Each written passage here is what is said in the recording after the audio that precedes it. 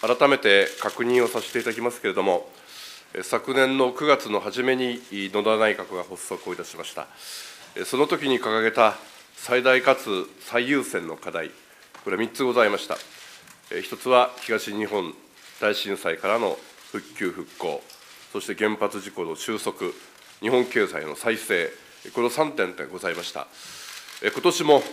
引き続き、この3つの大きな命題に挑戦をしていきたいというふうに思います。まずは、この仮設住宅や、あるいは避難所で、この寒さの中、いまだに厳しい被災生活を余儀なくされている皆様に、心からお見舞いを申し上げたいと思います。その震災復興でありますけれども、昨年末に第3次補正予算が成立をいたしました。合わせて復興交付金、あるいは復興特区といった新しい仕組みを作ることもできました。加えて、まもなく新たに復興庁を設置をすることになっています。この司令塔を中心にですね、力強く復興を推進をしていく決意でございます。2つ目は、原発事故への対応でございますが、昨年の12月16日に、ステップ2、いわゆる冷温停止状態を到達をすることができたことは、宣言をさせていただきましたけれども、原発事故との戦いがこれで終わりではないということも、併せて申し上げさせていただきました。これからは、まさに賠償、健康管理、除染、これらの柱をしっかりと実現をするということがまさに福島の再生につながるだろうと思います。力こぶを入れて取り組んでいきたいというふうに思います。日本経済の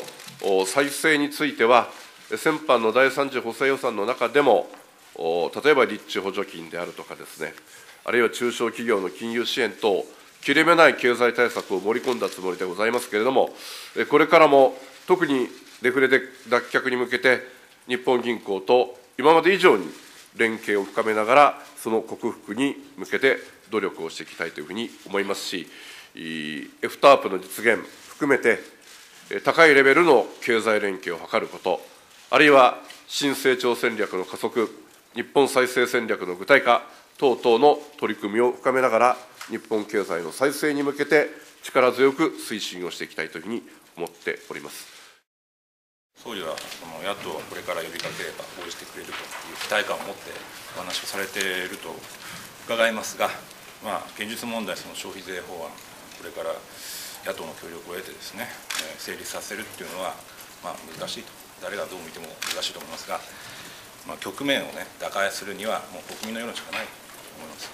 国民の世論をどう総理が引っ張っているかというところにまあ、かかっていると思うんですけれども、総理は国民に問う考えはありますか？あの難しいと一刀両断でありましたけれども、まさにこれからの野党協議の呼びかけ、合意を得られるかどうか、法案提出できるかどうか、法案が通るかどうか、いろいろハードルはあります。あのちょうど昨日出身高校の同窓会があったんですが、その時にあの手紙をもらいまして、えー、世界史の授業を受けて、た時の記憶があるかどうかそれは先の大戦の時のウィンストン・チャーチルの言葉 The most famous six words 覚えてるかと。先生が教えてくれた言葉。忘れてましたけど。それは Never, never, never, never give up 私は大義のあることを諦めないでしっかりと伝えていくならば局面は変わるというふうに確信をしています。